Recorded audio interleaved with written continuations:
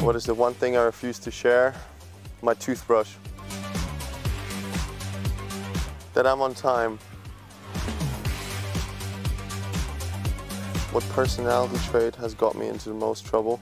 That I'm always on time. My head gravity tennis racket.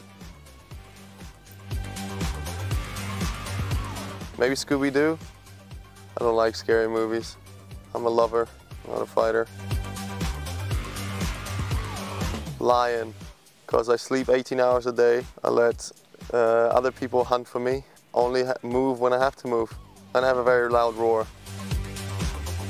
My nickname, well, Sasha to start with, but fans call me the Roar, so kind of gives that away. The Egyptian pyramids, nobody understands how they got there. The only limit is the one you put on yourself. Iron Man, because I got actually no idea what's going on in my life and uh, I don't think he does either, but he goes through with it somehow and survives quite well. Oh well, I got a few. So 8 Mile by Eminem, Candy Shop, 50 Cent, but They Don't Care About Us by Michael Jackson.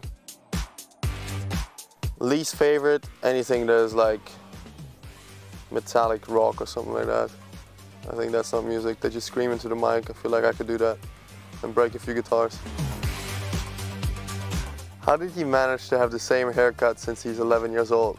Is it just glued to his head? Like, does he actually even have to cut it, or is it like fixed? What What is that? Is that actually hair still growing, or is it just on standby? Well, how how is that possible?